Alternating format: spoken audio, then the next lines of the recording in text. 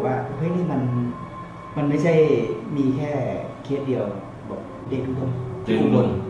อันนี้ก็ผ่านเหมือนกันอะจังหวัดอะไรนะครับเนี่ยเอ่ออุบลราชธาอุบนีลเคสเคสนี้เนี่ยเอ่อลำไส้อุดตันอืมแล้วลำไส้มันเน่า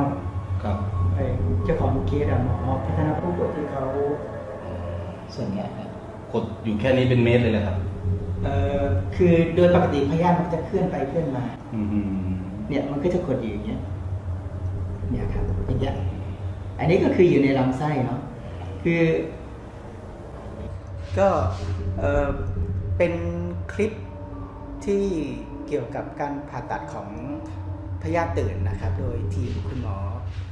พัฒนพงศ์รัศมีและก็ทีมงานนะครับจาก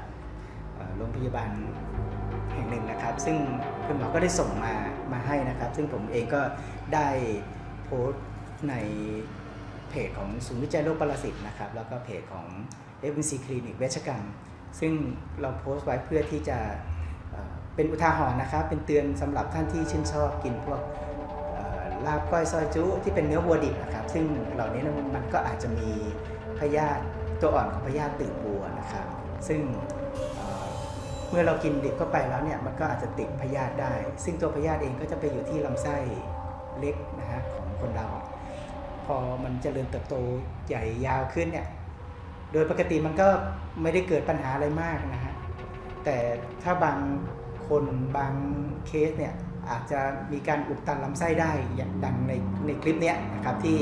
คุณหมอเจ้าของเคสเนี่ยก็ทำการผ่าตัดก็ทำให้เนื่องจากว่าพยาธิเองมีการอุดตันนะครับแล้วก็ทำให้ผู้ป่วยในปวดท้องครับแล้วความยาวพยาธิมีเท่าไหร่ครับ คือเอ่อเนื่องจากว่าช่วงที่มีการผ่าตัดของคุณหมอเล่าให้ฟังว่าก็คือมันขาดก่อนนะครับ ก็เลยแล้วก็เอาไปเก็บก่อนนะครับ ซึ่งไม่ได้วัดแต่คัดคร่าวๆ คุณหมอบอกว่าอยู่ประมาณสัก2-3เมตรได้ประมาณนั้นครับเคสแบบนี้ที่บ้านเราพบมากไหมครับ เจอเรื่อยๆฮะอย่างนอกจาก ของเคสนี้ที่ที่เพิ่งเกิดเมื่อวานเนี้ยครับที่คุณหมอส่งคุณหมอพัฒนพงศ์ส่งมาให้นะครับก็ยังมีอีกเคสหนึ่งที่อยู่จังหวัดใกล้เคียงกันเมื่อเดือนที่แล้วเนี่ยก็คุณหมอวิวพงศ์นะครับพงศ์น้อยซึ่งเป็นศัลยแพทย์นะครับที่ทางอุบลนะก็ได้โพสต์ทาง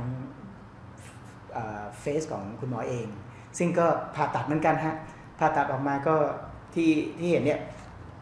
แบบนี้เลยฮะที่เป็น ออกมายาวเลยครับ แล้วก็ได้เป็นเต็มกระมังเลยครับซึ่งข่าวสดสื่อออนไลน์คุณภาพที่มีผู้ติดตามทางโซเชียลมากกว่า 19 ล้าน follower อย่าลืมติดตามคลิปดีๆ สาระความบันเทิง ข่าวด่วนแบบฉับไวกับข่าวสดออนไลน์ทุกช่องทาง ไม่ว่าจะเป็น Facebook Twitter Instagram YouTube และ TikTok ค่ะ และตอนนี้นะคะแฟนเพจ Facebook สามารถส่งดาวมาเพื่อเป็นกำลังใจให้กับทีมงานข่าวสดได้แล้วค่ะ